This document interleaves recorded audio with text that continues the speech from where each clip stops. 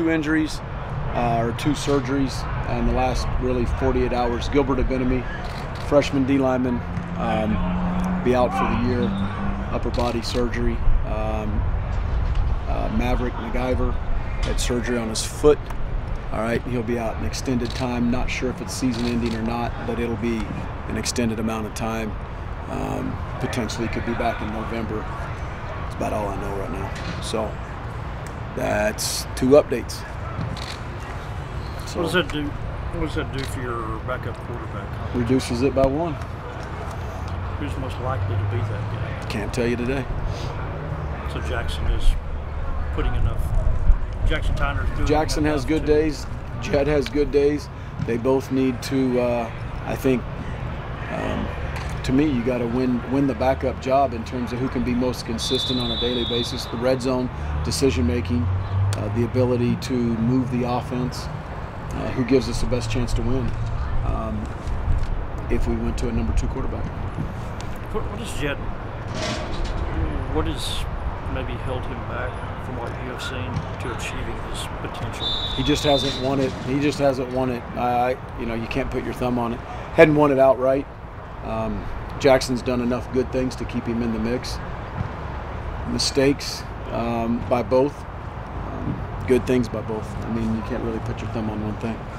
Uh, the addition of Ingram, what kind of led to that? When did that start developing, and what do you like about him that all bring to this team? Uh, Jamarcus entered the transfer portal, I guess, the last week in July or at some point. Um, we had several scholarships open uh, at that time, and he contacted us. And you know, that's uh, that's a kid we're very familiar with, obviously, and he is a um, he's got good skills. Uh, he's got cover skills as a as a corner, uh, but he's in a safety body, so I think he's a combo type guy. Um, great great culture kid. I mean, uh, great worker, overachiever in every sense. Great kid, great young man, great addition to this program. Um, players have welcomed him, you know, with open arms. Last 48 hours, they've been great, and um, he's a young man, you know, a junior. He's got two years eligibility. So, and all three grad school transfers on defense have two years. So that's a that's a bonus for all three of those guys. Since he's familiar with this defense, does he have a chance to just kind of slide right into that uh, spot? No, it'll be earned first and foremost, and he obviously knows a vast majority of the defense. We've changed. Coach P has changed a little bit, uh, some of the verbiage, but he will. Uh, he'll need to win it. I'm sure it'll take a little bit of time, but. Um, when you say win it, a lot. Uh, I think there's a misconception that um, we have full-time starters that play all 90 snaps. That's not the case, and so I think it, it adds depth to the secondary. I think if he was playing safety, it allows you to play Frye um, at a nickel or a corner. If he's playing corner, allow. I mean, it gives you a lot of choices, and we, we've talked in spring a lot and summer about a lot of DBs that we like to train, cross-train into multiple positions, and I think he's another guy that gives you that. Where's he conditioning wise? See, Um, two days, pretty good so far. so he's a guy obviously with his familiarity with what y'all do who could uh, be up to speed pretty quickly. You think? I think so. Be able to get two years out of him, does that make him even an added bonus? A lot of grad transfers only get to come in for one year, obviously, but not only do you already know him, now you get to have him for two seasons going forward. Yeah, you know, three out of our six grad transfers are juniors, and you get it, those guys for uh, 18 months, basically. I think that is a major added bonus. Very similar to signing a junior college kid. Although their advantage uh, when you're comparing them like that is that they've played major college football at programs uh, that have been successful, uh, similar to us, in ways that uh, that we want to add in. And, and again, I've said it multiple times. You want to add grad, we want to add grad transfers into our program that are coming from programs that I think are similar to us because uh, the work ethic and the value and all the culture stuff that we're trying to create, you got to continue to do that with every kid you bring in this program. What are the biggest strides you've seen in Armand Shyne? Well, first of all, he's kind of getting a lot healthier. He's just he's uh, he's kind of been banged up a little bit, but and very normal in, in the middle uh, back, back half of training camp that we are. But Armand is uh, he runs behind his pads. He's thick. He's a one-cut guy. Catches the ball extremely well out of the backfield. Uh, pretty good in protection, continuing to learn our protections. But uh, he's a kid again that's played at a high level, been very successful, and um, he's a great kid. Does a, does a lot of things right. Are you guys looking for those grad transfers and they have two years left, or has it just worked out well? It's just kind of worked out that way. I think it's an added bonus. Uh, back on Maverick for a second. What what day was it that he got hurt? Was that in practice? Uh, scrimmages? Scrimmage Saturday. Scrimmage Saturday. Yeah. And it was a was it a fracture or what did he do? Uh, he had surgery today. Yeah, Um, a successful surgery. I'm told. uh, uh, on Jamarcus, how did you work through his legal issue up there at Utah State in Yeah. terms of your decision on disciplinary action or Talking about the disciplinary action from two years ago. Right, right. Uh, to get was- kind of get back in the good graces of the, your, you and the team. Well, that was a that was a deal that was handled um, in court, off court. Um, was never charged with anything, and so anything that we did was was internal. So that was a long time ago. Yeah, wasn't charged. We talked about Eric uh, Ezukanma, how he kind of stacked good days on top of good days. Has anybody else kind of been able to step up in there and kind of do that? I think? TJ's had a good couple days. Easy's had a good few days. Keyshawn's played well. Uh, McLane Mannix again is kind of back to healthy and full go. Xavier White and Rigdon have been there since training camp. Those guys are playing, uh, I think, at a high level and um, very confident. Uh, they're playing fast. Leggett is taking as many reps as, as easy. Uh, Leggett can play either outside receiver, uh, really good special teams player. So I like where we're at right now with our wideouts. I think you said way back on the first day that you would normally play, or maybe played last year, three to six freshmen.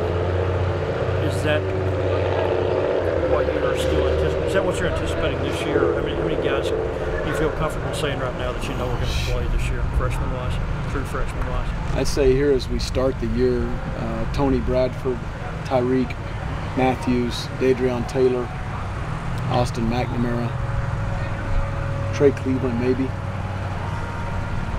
Probably where we're at right now.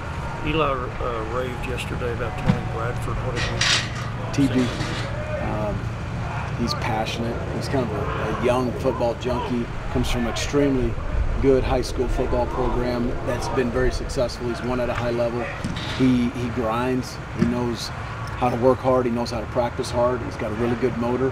Short, maybe a little undersized, but uh, extremely good motor.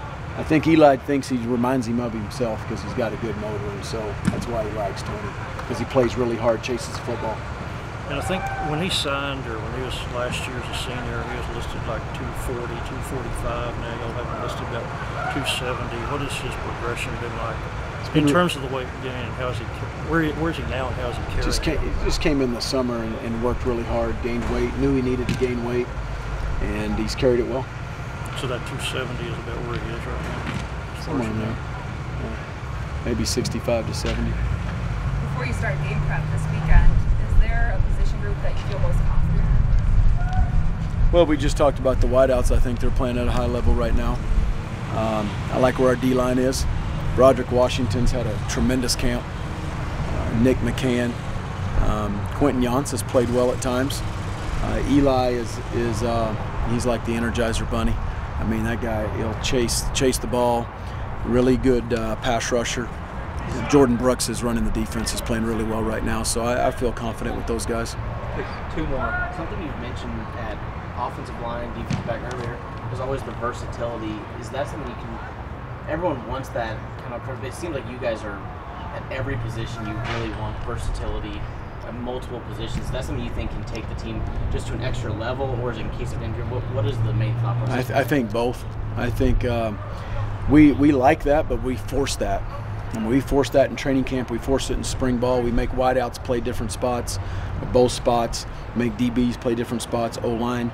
Um, I do I do like the versatility, but I like it uh, when guys get banged up, injured, or not playing well, and you got to move guys around. And your next best guy may be the backup at a different position, but you can move him up in a position he's really comfortable. Potentially move a veteran to another spot, and I think it, uh, yeah, I think it helps your team. Since Coach Brad, or since Coach uh, Randolph is supposed to speak with us here in a minute, tell me your background with him. What kind of brought him onto your staff? And I've known, yeah, I've known Paul Randolph. I think since maybe the early 2000s, so it's maybe 16, 17 years. And he was at Alabama uh, when I first met him. Brought him in at the University of Tulsa when KP, Coach Patterson, and I were, were on staff. We brought him in and he clinicked our staff. Um, he was the D-line coach at Alabama at that time, and just um, recruited the city of Dallas and the Metroplex when I was an assistant, and ran into him quite a bit. Um, he coached at the University of Tulsa right when I was leaving, so we crossed in the middle of the night, and he came in that office, and I was leaving, and so we've we've you've got a lot of familiar friends, and um, obviously his his uh, background with Coach Patterson at Tulsa, at Pitt, at Arizona State, um, and then now here, I guess it's the fourth school that they've been together, um, made it for a um, again another really easy transition. Great man, a great man of faith. Um, is a leader of the D line. He's passionate, chases those guys to the ball, and every day the guy comes to work. He's a pros pro. Um, we're very very lucky to have Paul and staff.